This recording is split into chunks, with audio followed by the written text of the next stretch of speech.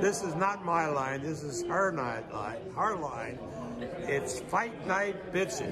Canelo, you've been training with Canelo. What's something that you've been learning with him? Uh, I've been learning a lot. Of, sorry, Oh, no. beautiful lady right there. Oh. She out there distracting me real quick. Oh. Anyways, Who uh, dat? nah, who that over there? But nah, uh, I forgot my train of thought.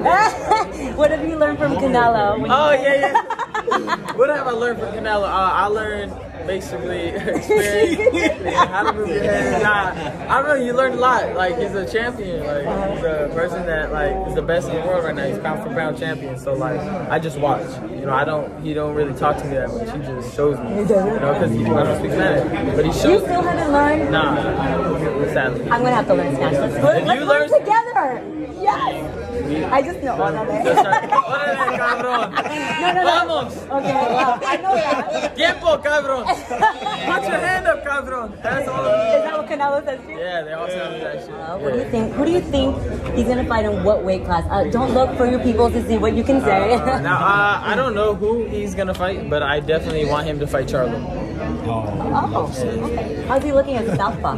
Oh yeah, yeah, yeah. He, he, he practices it a lot. He's strong as hell, no matter what. Yeah, he's good no matter what. He can do it all. Night Girl. So make sure you guys click and subscribe right here. And remember, it's fight night, bitches!